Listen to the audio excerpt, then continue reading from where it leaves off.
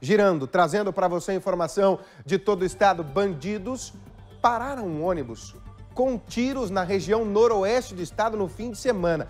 Presta atenção, gente. Ônibus circulando, a bandidagem dá tiro e para o ônibus. Consegue pensar numa situação dessa?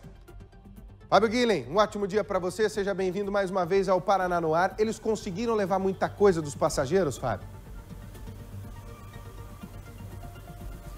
Muito bom dia, Riva. Bom dia para todos. Que bom tê-lo novamente aqui no Ar, viu, Rivaroli? E sim, levaram muita coisa, muita mercadoria. E eles estavam preparados, tá, Riva? Porque eles estavam com um caminhão.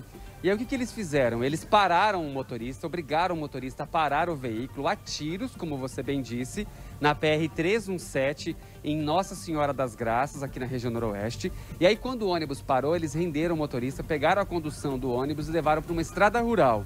Lá na estrada rural já tinha um caminhão, Riva, preparado para fazer ali esse transbordo. Eles pegaram toda a mercadoria, né, que são compradores. Eles foram para o Paraguai, fizeram as compras, estavam voltando para São Paulo. Levaram toda a mercadoria e levaram dinheiro também que esses compradores tinham ali nas carteiras. Ao todo, 27 passageiros. Ninguém se feriu, segundo a Polícia Rodoviária Estadual.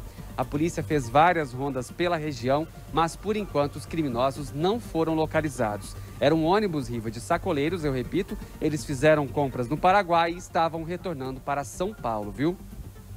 É isso, né? Vem da região lá de Guaíra, por exemplo, o pessoal vai por lá também para fazer compra, é, vai para a Tríplice Fronteira e vem pela 317 e vem-se embora, cortando para ir para dentro. Quem vai para São Paulo vem por dentro, vem pela 317 faz exatamente esse caminho e a bandidagem sabe.